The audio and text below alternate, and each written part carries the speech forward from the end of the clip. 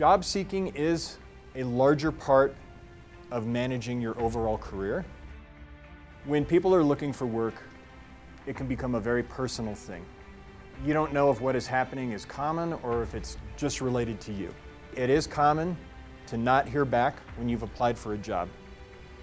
It's the number one complaint I hear from job seekers all of the time. When you are out talking with people and making those cold calls and networking, it's nothing to be afraid of or to be ashamed of that you're unemployed. Everyone's been unemployed. Every job posting, it's a problem posting. There's a problem that needs to be solved. That's why they're hiring. You need to match at least 75% of the qualifications in that job posting. So, tell us something about yourself.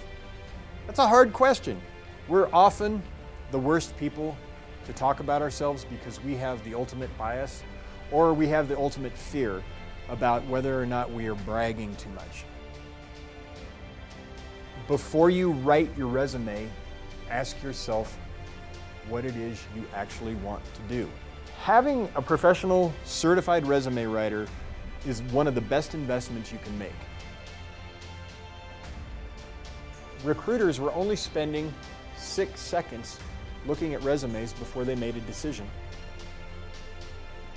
You create an authentic package about yourself.